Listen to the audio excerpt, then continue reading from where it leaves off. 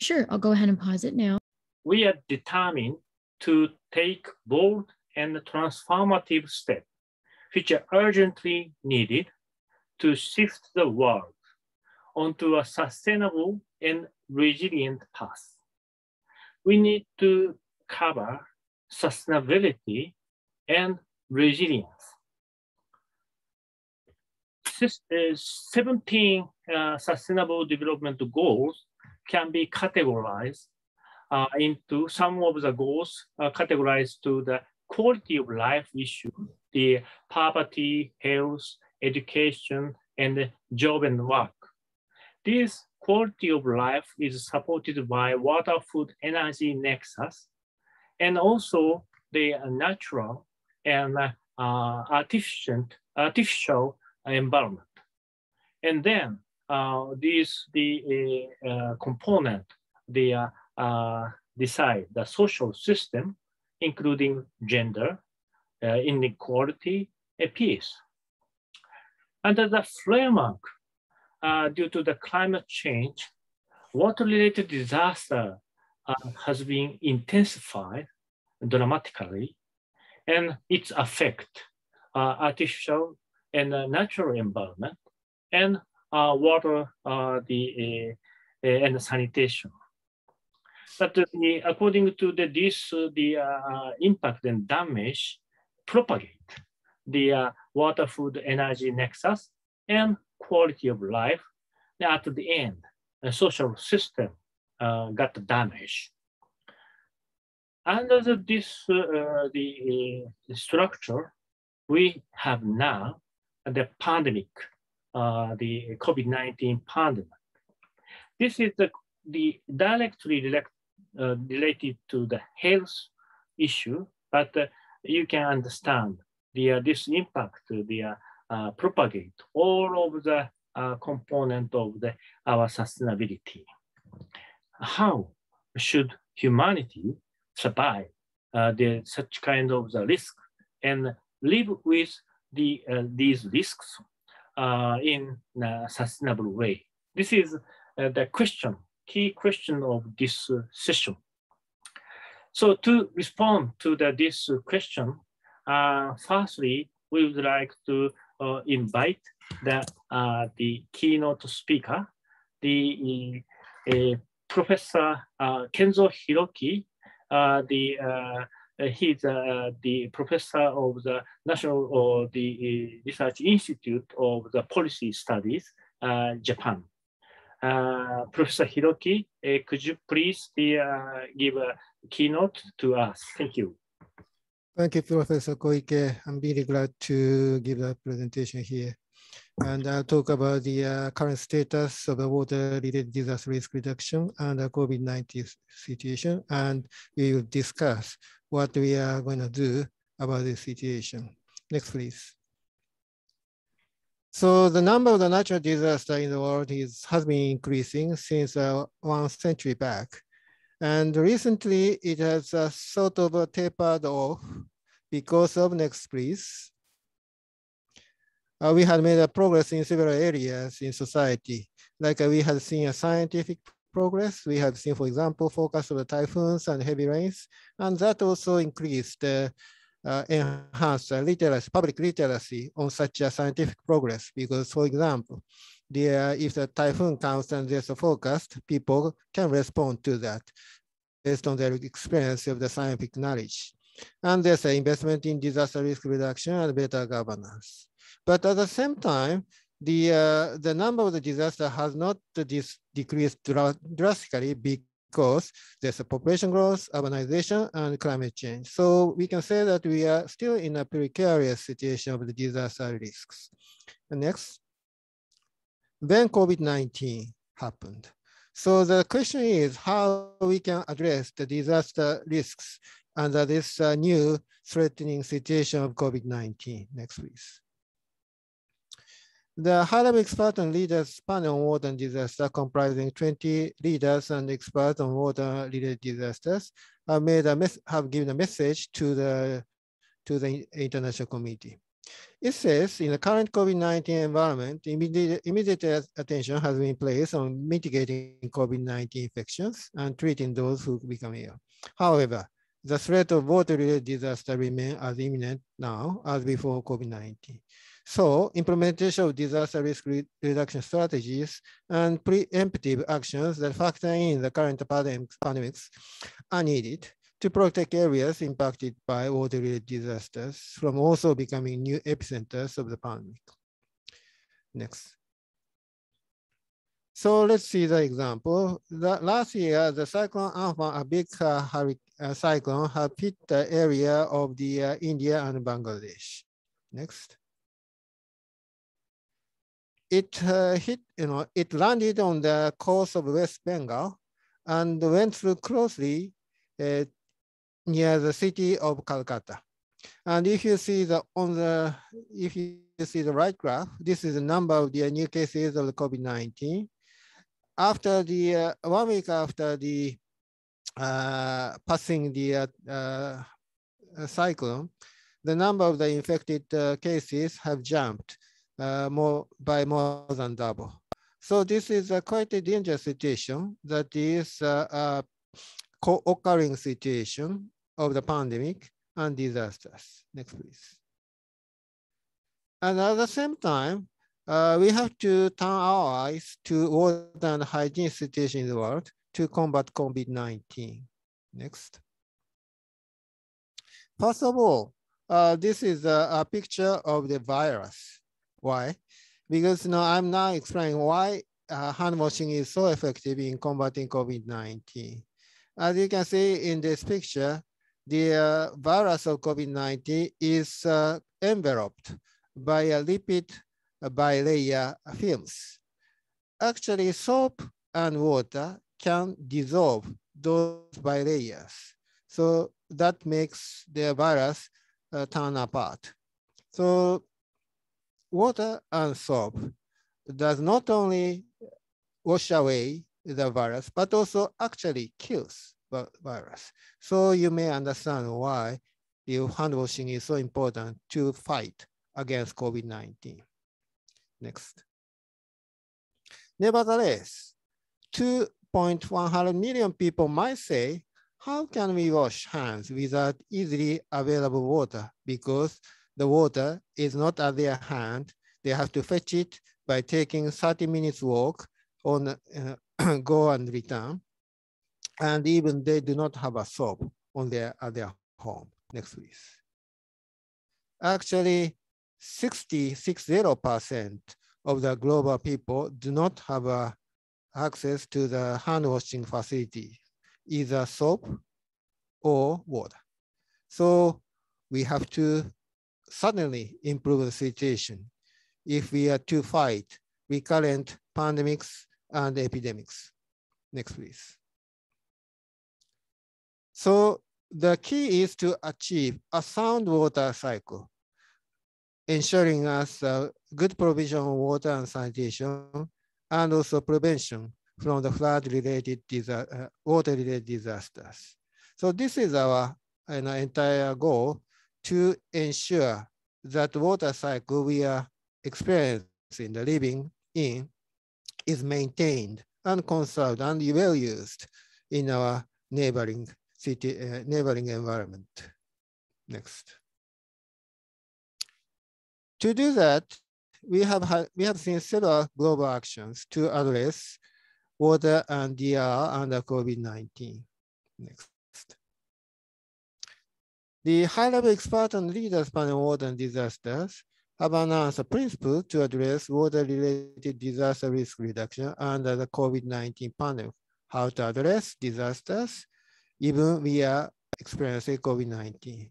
There are 10 principles starting from enhancing leaders' awareness on disaster risk reduction in the pandemic, integrate risk management of disasters and pandemic, provide clean water sanitation and hygiene sustainable during and after disasters, and etc. Next.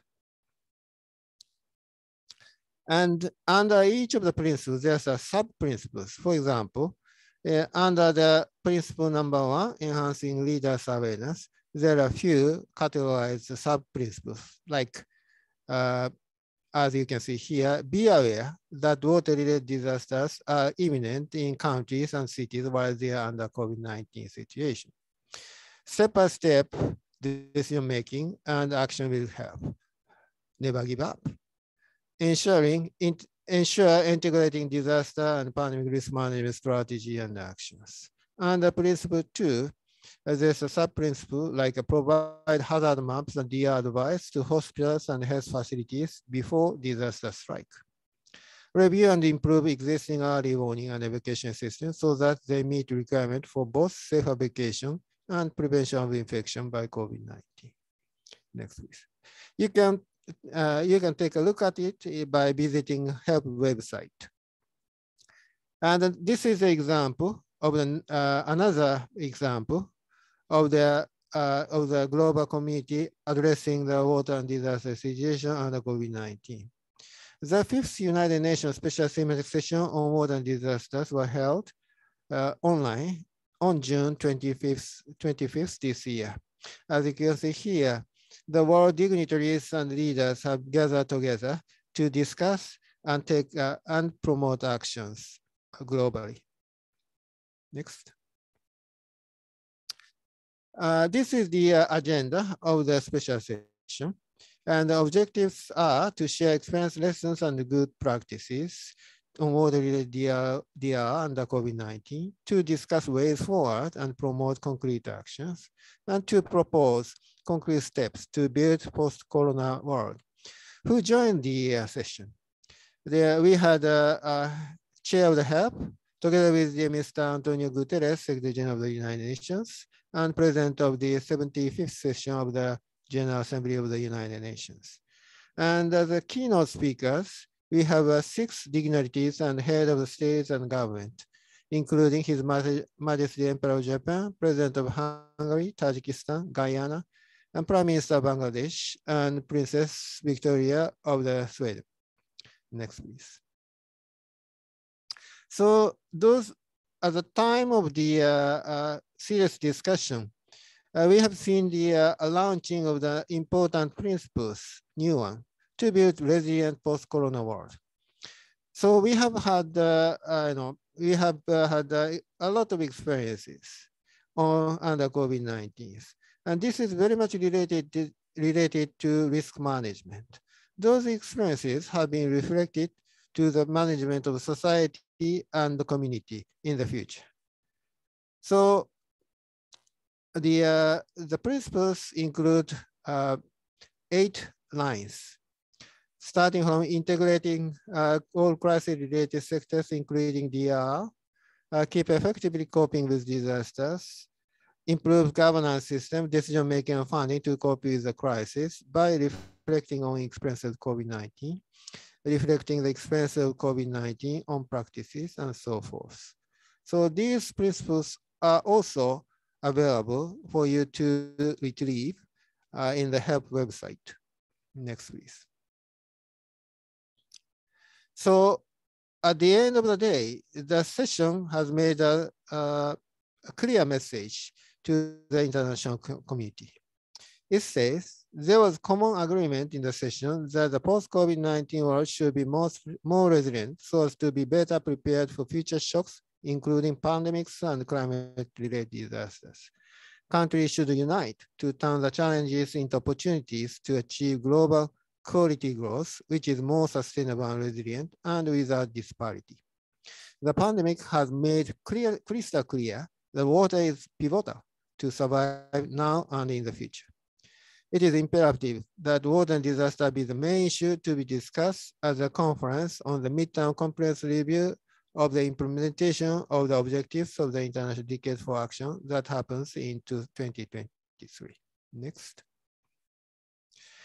So having explained what the international committee has done to take uh, to address the issue of the water-related disaster reduction and COVID-19, uh, the uh, uh, we have to discuss the next steps. This is particularly true for the next 15 minutes.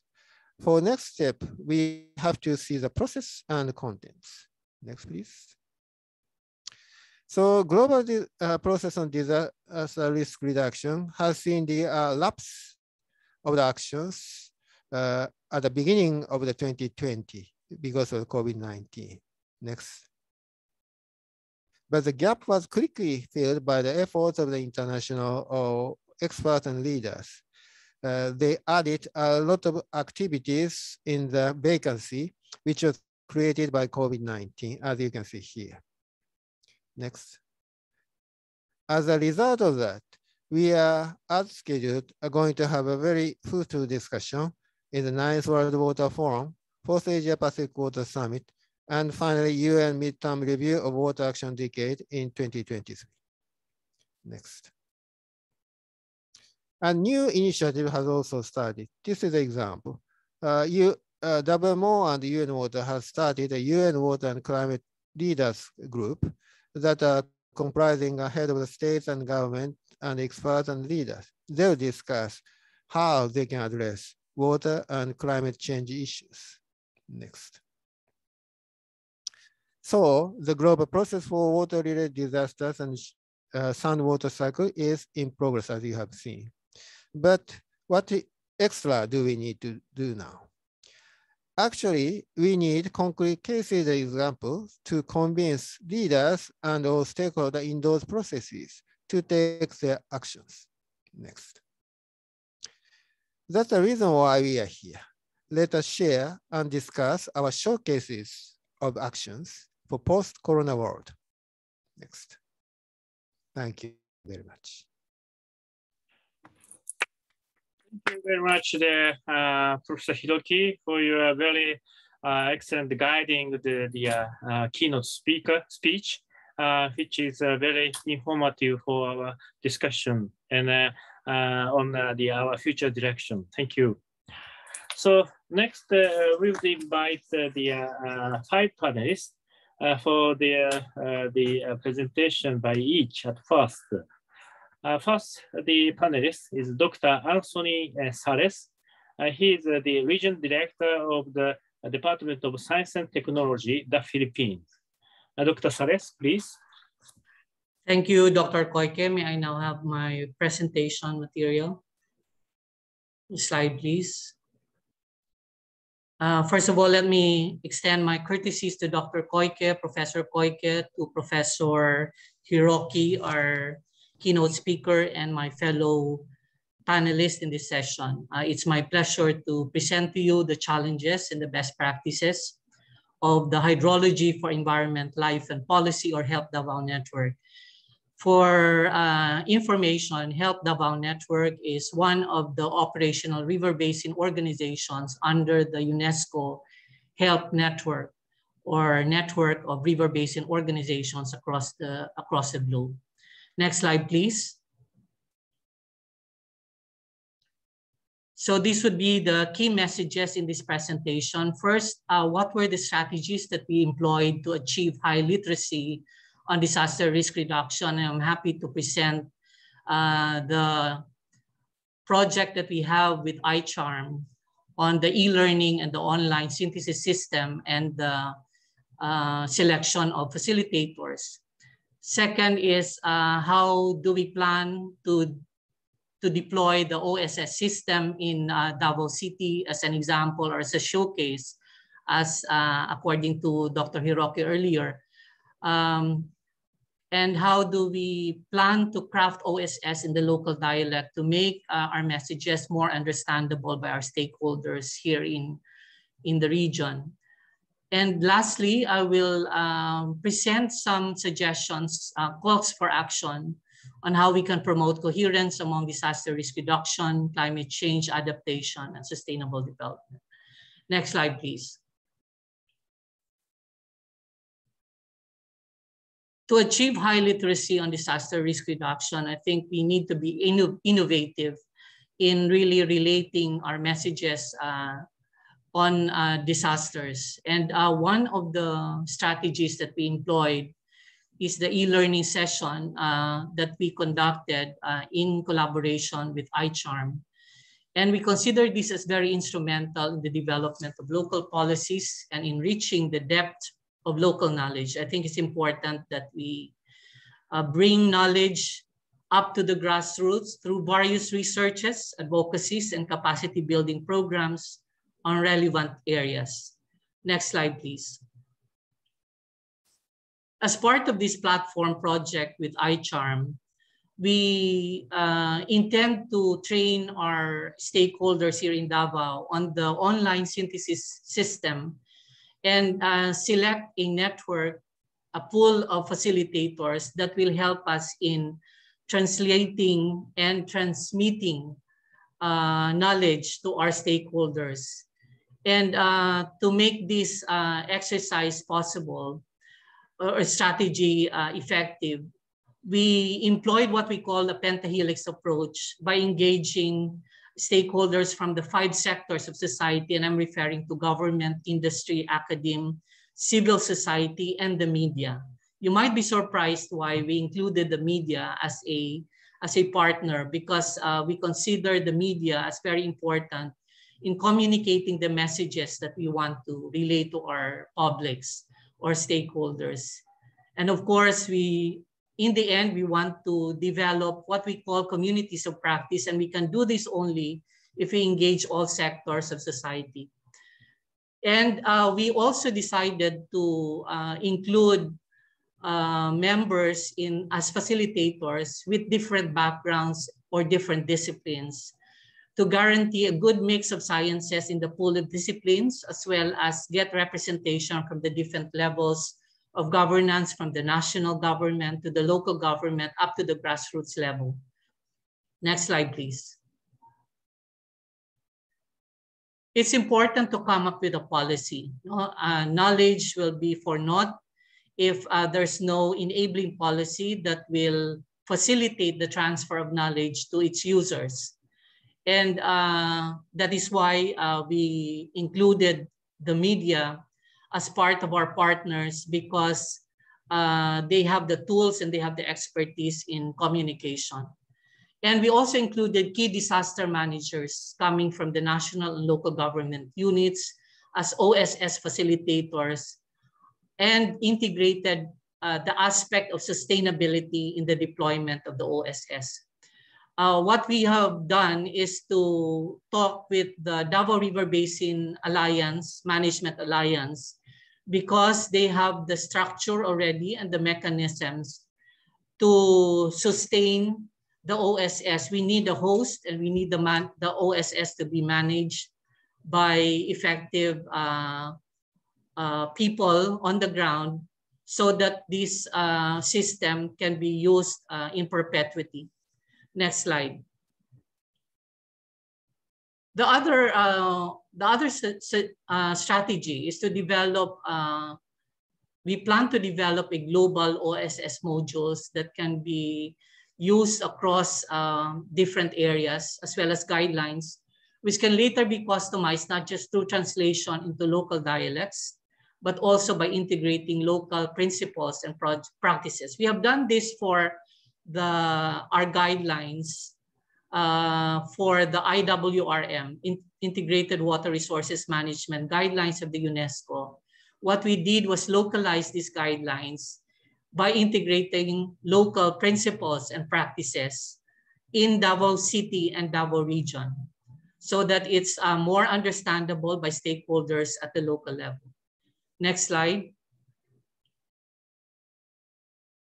These are the keys I think we think that uh, was uh, key to localizing the OSS. One is uh, it should be, there should be co-development. And this is what we call, this is one precept of sustainability science that when we introduce a new uh, technology or new uh, uh, procedure, there has to be engagement of all possible stakeholders from conceptualization to development to implementation, as well as monitoring and evaluation.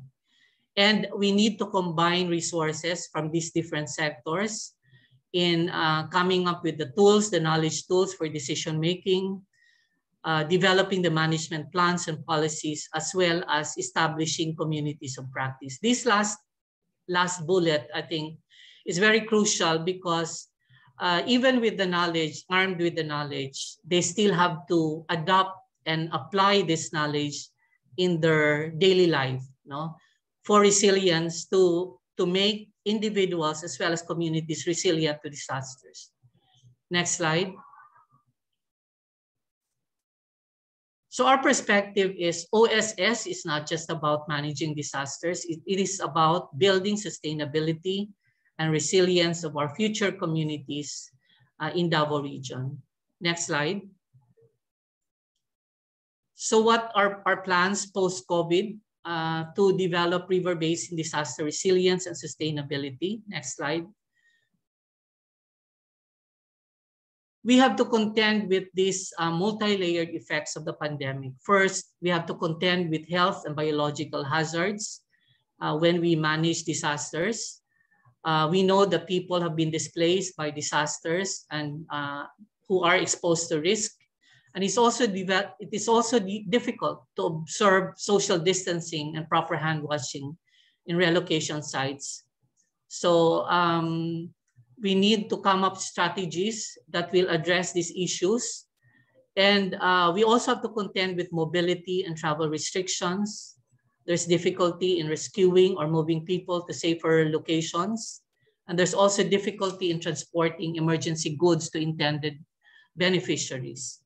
And then third uh, are the socioeconomic impacts of disasters aggravated by the pandemic. Um, we know that many Filipinos are dependent on remittances no, uh, of Filipinos uh, from overseas, but many of them have lost jobs. And therefore, uh, this has to be uh, considered when we make our disaster plans. Next slide.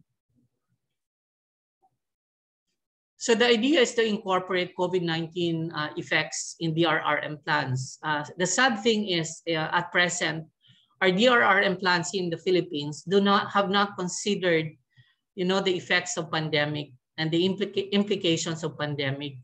And therefore, uh, DOST have initiated the development and implementation of what we call a pandemic plan that will prepare communities and individuals to deal with pandemics uh, even in the face of disasters. So to address health and biological hazards, we have established what we call the I am David NICER Center. It's a research center for interdisciplinary applied modeling, data analytics, and bio biology of infectious diseases. We also have the Philippine Genome Center. We have the Virology Center and the Regional Health Research and Development Agenda to prioritize health and disasters. Next slide. Uh, Dr. Sales, could you please the, uh, summarize? Wrap up, yes, okay. Uh, let me go to my last uh, slides on the call for action. Next slide. Next slide, please. These are the uh, strategies that we propose. Uh, can we go back a bit? Uh, we need to develop the global standards for OSS, customize DRRM platforms, as well as incorporate post-COVID-19 in the RRM plans, programs, investments, and policies. Thank you for your attention. Okay, thank you very much, dear Dr. Sales. So next, uh, I would like to invite uh, Mr. Sanjeeva Irangasinghe. He is the Deputy Director of the Mahaweli Authority uh, of the Sri Lanka. Uh, Mr. Uh, the Irangasinghe, please. Thank you, Professor. Thank you, Professor. Yes. Thank you, Professor. Do you know about the Pearl of the Indian Ocean? Have you heard about the ancient granary of the East at sea? Good morning, uh, ladies and gentlemen. I'm Sanjay Irangasinghe from Mahaweli Sri Lanka. It's great privilege to me to present about Mahaweli Authority of Sri Lanka for this important session. Next slide, please. The Sri Lanka has great ancient heritage with a history of over 2,500 years. Ancient time, it's called Granary of the East. The first Nobel bread, uh, bread nobleman who started the great irrigation system in Sri Lanka was King Vasabha. It was in first century. Those ancient period rulers ruled the country by the concept temple concept. The greatest era in the history of irrigation in Sri Lanka was King Parakramabahu era. That was in 12th century.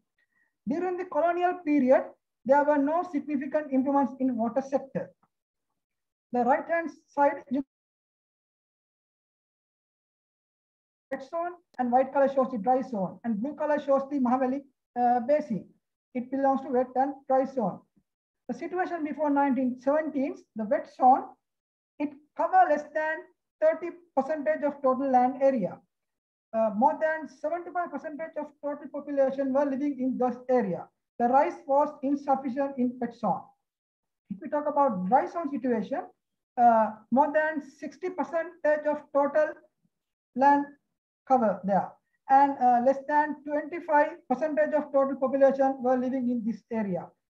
Uh, most of the time, mostly to the flood, drought, uh, diseases and poverty. Finally, the dry zone was largely empty.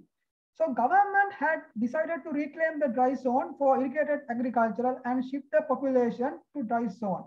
So government initiated the Mahaweli development program to achieve the food security, controlling flood, making irrigation facility to dry zone and water supply for the dry zone people, and so on. Next slide, please. Next slide, please. Uh, next. This is the Mahaweli system. It consists of large reservoirs, hydropower plants, diversion canals, downstream areas.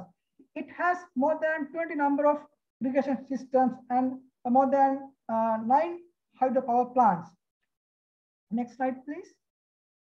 Uh, this is simplified uh, Mahaweli system characteristic diagrams. Next. Uh, the system located uh, Kotmale Oya, Uma Oya. Next. Next, please. Uh, Kotmale Oya, Uma Oya, and some other Mahaweli uh, uh, river with these locations. Next, please. At Polgolla, we divert water issue water for ancient and uh, new irrigation systems in dry zone through the Trans-Basin Canal. At Minipe, we divert water into the, another river basin called Maduru. Next, please. The uh, next, please. New reservoirs and uh, some of hydropowers are uh, managed by Mahalettra Sri Lanka. Ancient irrigation systems. Next, please. Ancient irrigation systems are managed by the Department of Irrigation. Next slide, please uh, still actually we have uh, the disaster issues, uh, droughts and uh, floods. Recently, we have implemented uh, four uh, projects, mainly focusing on mitigation, flood and drought. Next, please. Actually, this situation and not address the climate change significantly. Next, please.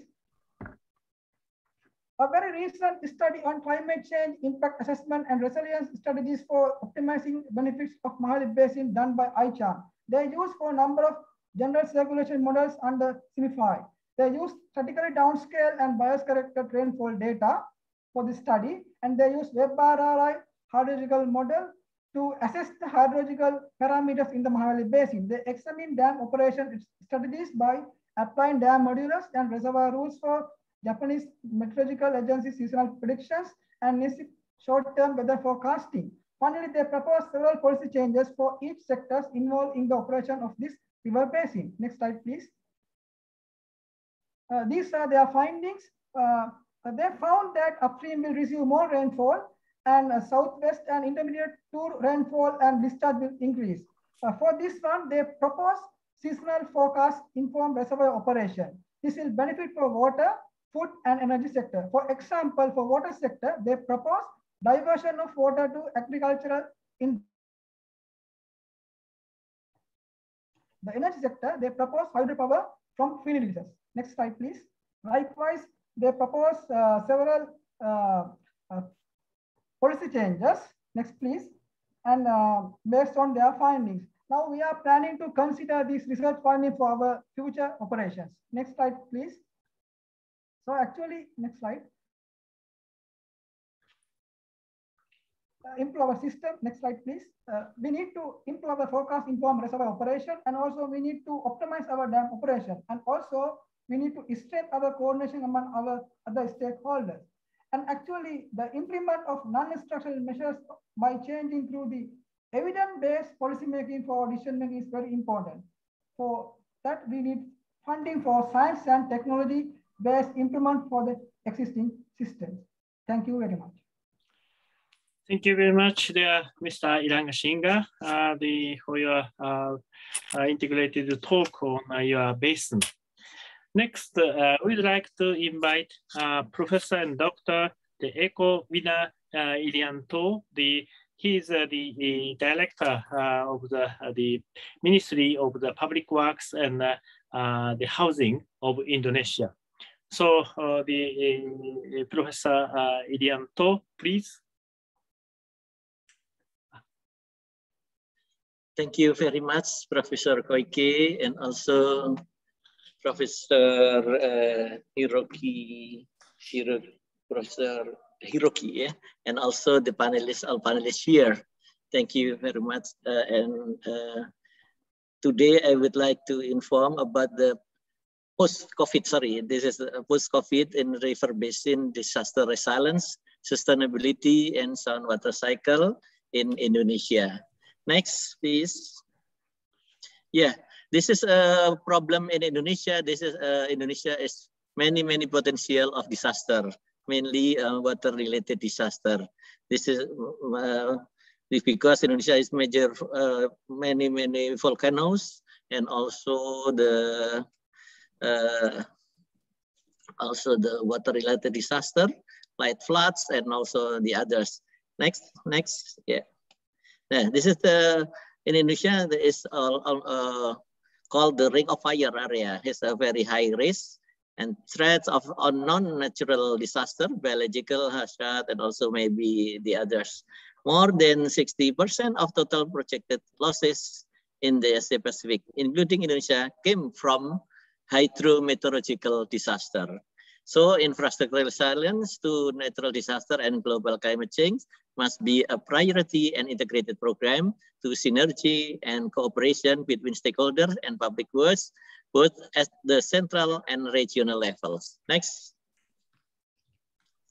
Yeah, we can see that this, uh, the flood disaster are becoming more frequently because of uh, maybe it might be uh, climate change yeah, in Indonesia. This is like a flood in, in Jakarta, also in the flash flood in East Java and also in South Sulawesi and, and also landslide in East Java also. And the others, uh, the others uh, is uh, uh eruption, eruption, uh, debris, uh, de, debris flood come from volcanoes eruption, eruption. Okay, and the others is the the floods from uh, in the beach embank uh, in the in the beach yeah in the near beach Jakarta also then uh, so need the life system resilience and infrastructure. Okay, next. Yeah, beside uh, beside the natural uh, disaster such as water-related disaster, we also impact uh, has had been impacted by the COVID-19 pandemics. So this increasing people's vulnerability in responding to the effects of climate change and also national so the national uh, affect to the national uh, uh, the national problem yeah? So we need the strategies and adaptation efforts. Okay next next please. Yeah this is a temperature trends in indonesia temperature trends in indonesia the the rise and of indonesia air temperature is still below the global temperature but but rose quite significantly starting in the 1970s. Yeah, 2020, 2020 was the second warmest year after 2016.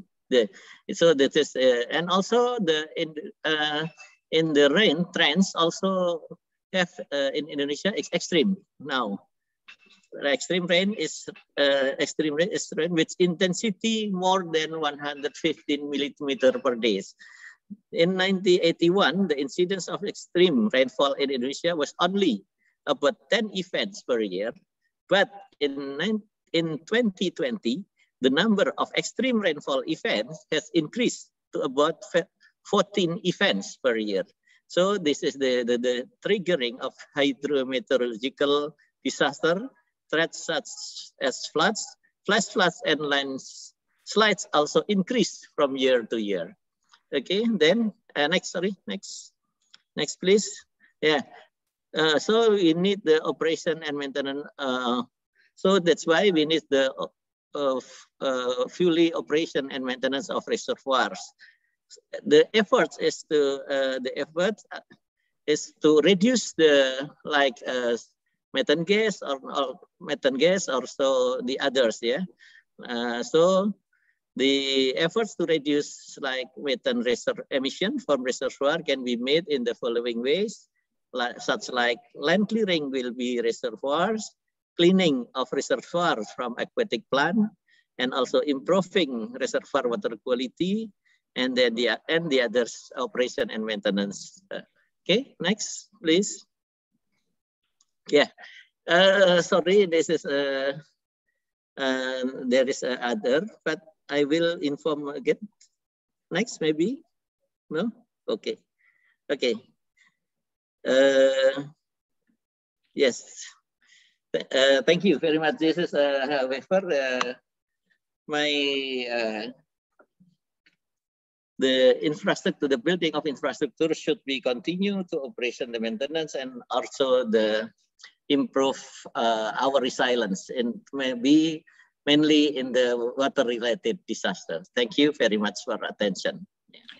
Thank you very much, dear uh, Dr. Irianto. Uh, the, for your introduction to the US, uh, the condition, uh, situation, and, and uh, the major strategy. Yeah. Thank you very much.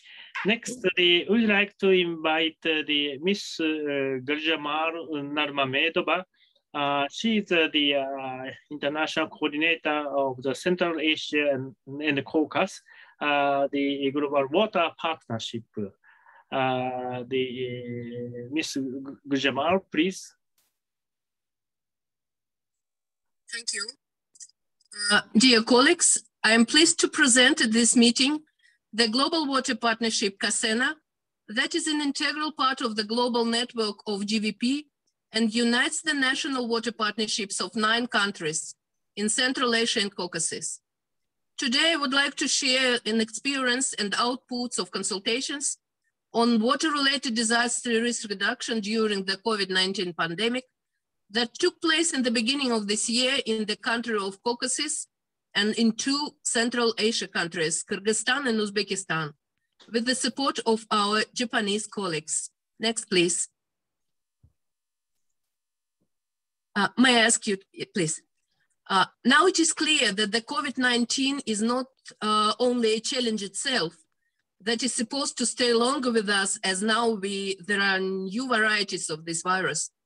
But this phenomena is twinning the problem that are permanently faced by people in a pre-COVID period, like water-related disasters to which Central Asia countries are exposed regularly. That is why it was decided to support the initiative to hold consultations on risk of water-related disasters during the COVID-19 pandemic and to inform the national authorities on health principles.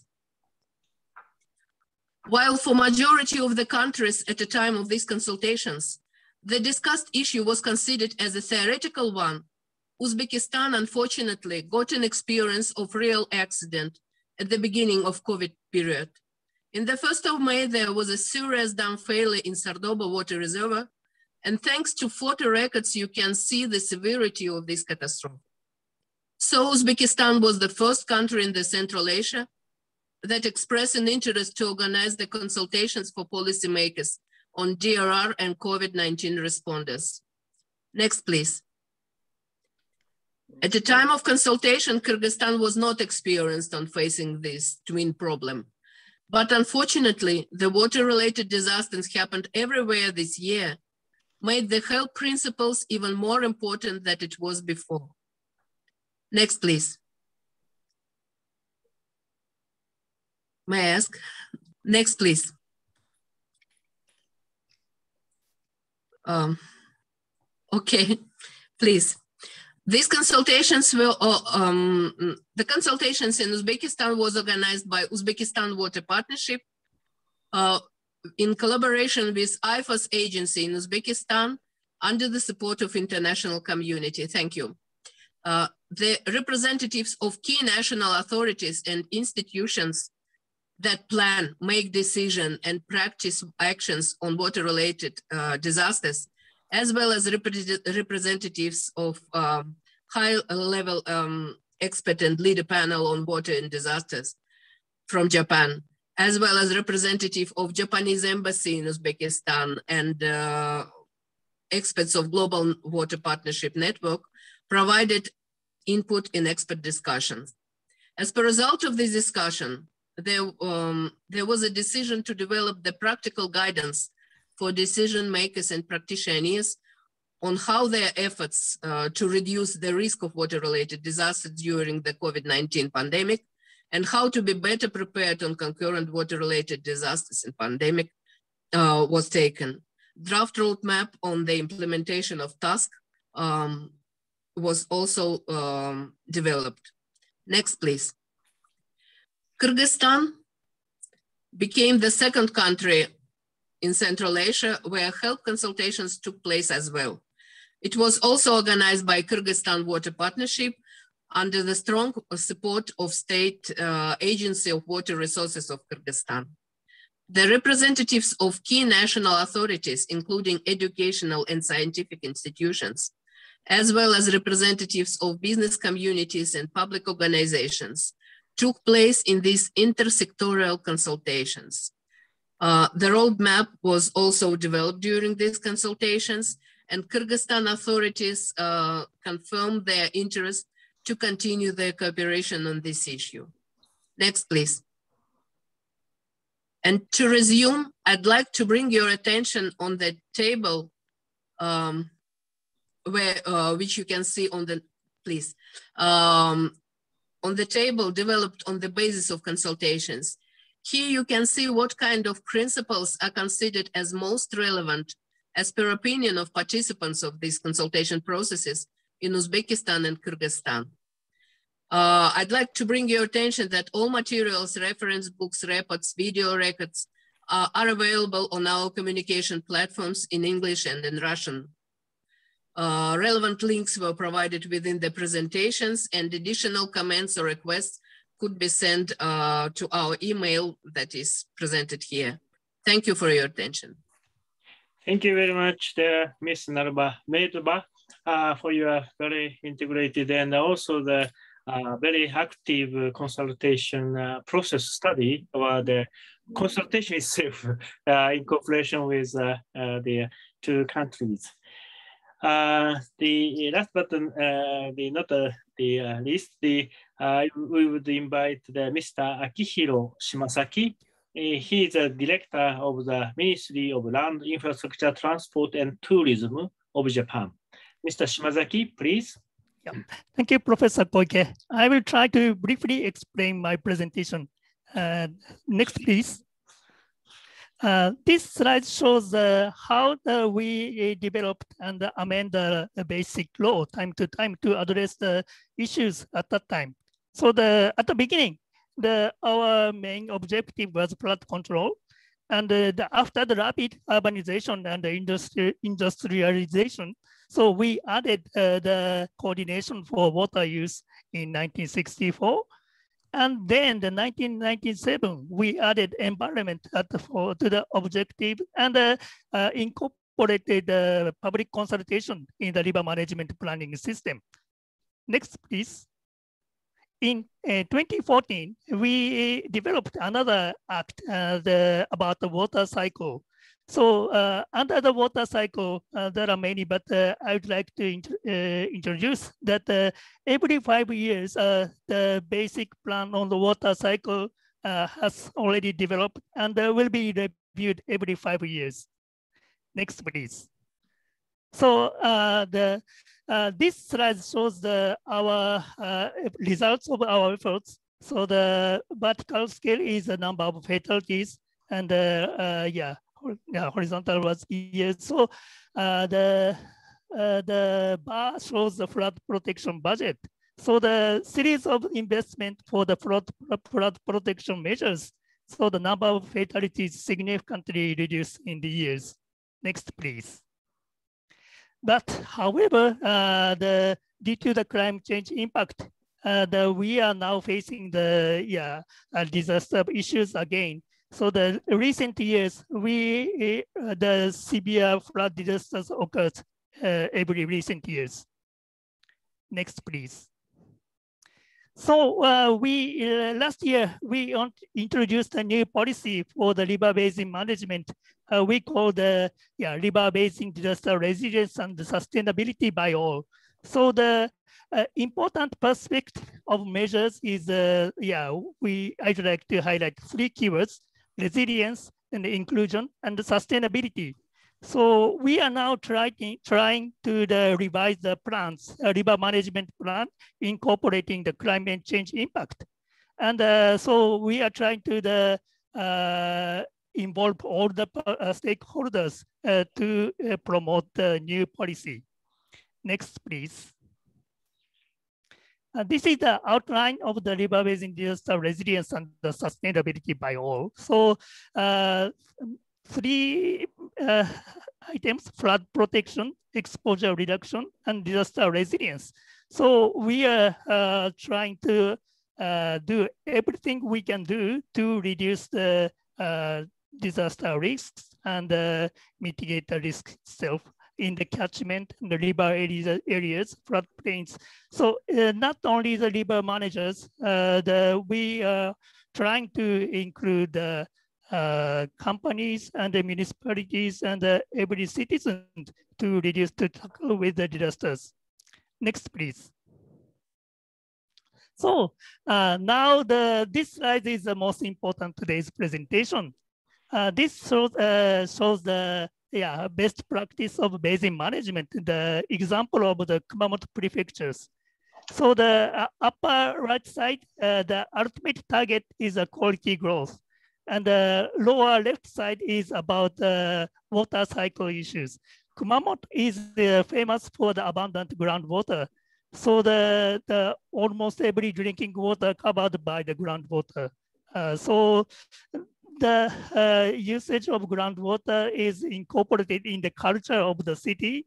So the uh, and uh, not only the water use, but also the uh, left side, upper left side is a flood control, uh, flood protection measures. In the uh, Kumamoto has a history of the yeah more than 100, yeah, 100 years ago, the, in the samurai era, started the yeah uh, the flood protection measures. So the in recent years, so the the city facing the repeated floods, but uh, the the city every time overcome the uh, the disasters and uh, try to improve the safety in the city. So this we name it the showcase of Kumamoto. So the, we are now preparing to the, introduce the results how the flood management and the uh, water cycle and the groundwater use was merged and uh, uh, how the city was uh, developed and the basic, uh, yeah, implementing these activities. So the now we, yeah, so I think five minutes is too short. So the uh, I, think, I think we can show the these good example. So next, please. So the next year, we have the uh, Asia Pacific Water Summit uh, in Kumamoto Prefecture. So I think uh, next time I may have more time to introduce the activities and our yeah, progress. Thank you. Thank you. Uh, thank you very much, there, uh, Mr. Shimazaki, the, uh, for your uh, the wide range the introduction of the, the uh, policies of Japan and also the uh, case study uh, in Kumamoto. And also the, the uh, one of the global process the Kumamoto Asian Pacific, the Water Summit to be held in Kumamoto. Thank you very much for your introduction. Uh, according to original schedule from now, uh, we would like to have a, a discussion session, but uh, the time is running. So it is very difficult for us the, to have the, such a session. Uh, the uh, our original uh, the question. The, can I share the, my screen? Uh,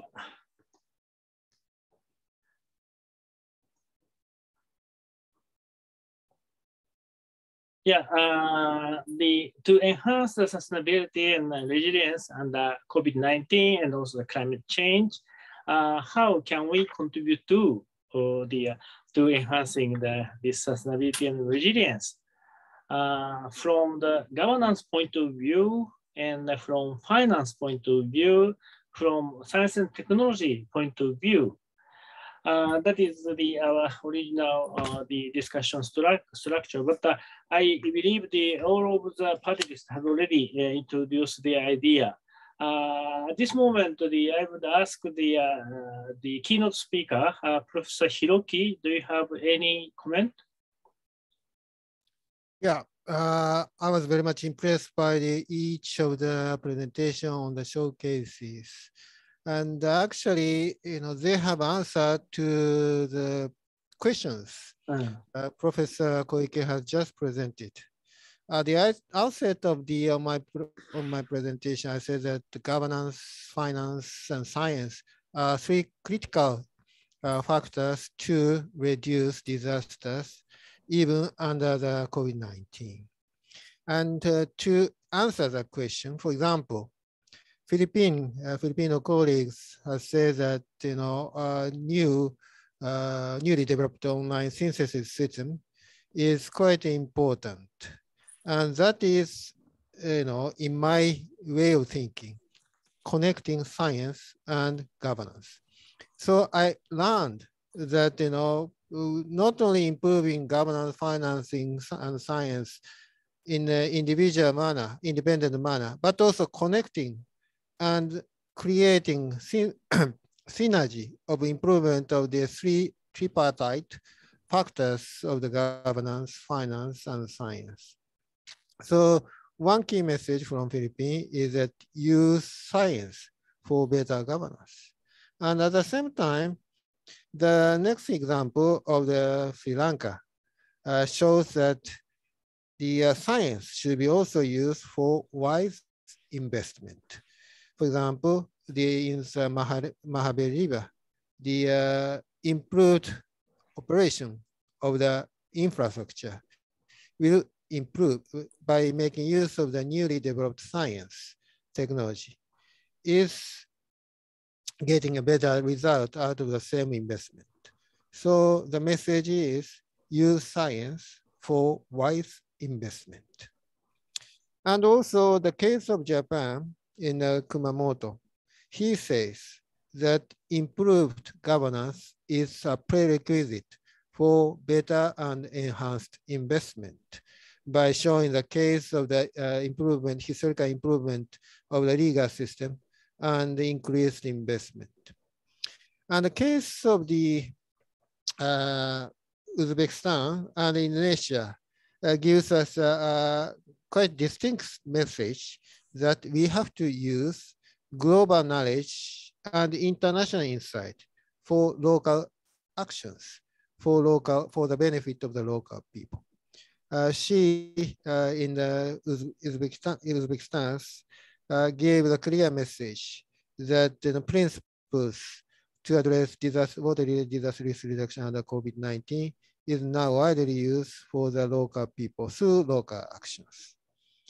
So I can say uh, that these messages and showcases clearly indicate that not only science, governance, and investment are three critical factors to address water-related disaster risk reduction under COVID-19, but also the connecting and integrating science, governance, and finance is a key in further creating disaster-free society in the future. Thank you very much. Thank you very much, the, uh, Dr. Hiroki, uh, Professor Hiroki. So the uh, let me, yeah, the Professor Hiroki, the uh, summarize all of the presenters' keyword. the, I would introduce the MyNote. From the governance, we learned the HELP principles. The, this is a very important guideline. And also the network by multi-stakeholders and uh, communication encouraged by facilitator is very important uh, function for development of the uh, governance and consultation process uh, based on the science uh, and other example uh, is very important. With regard to the finance, the not so clear message, but the new budget framework there can be established by new policy in case of Japan.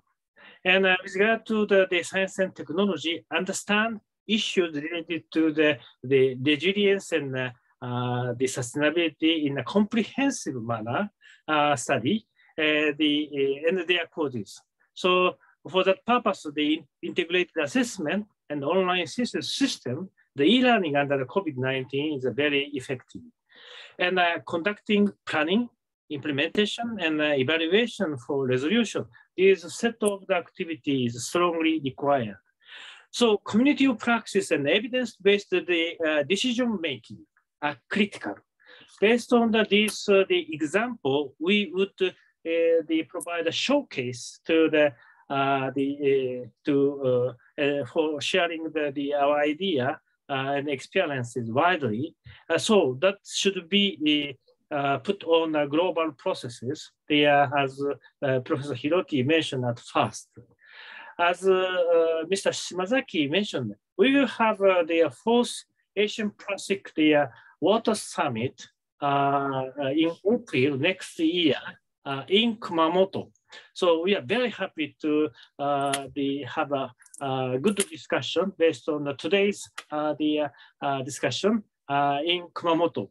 Thank you very much for your cooperation. the, the, this session is uh, John. Thank you very much for your uh, great cooperation. Thank you. Thank you.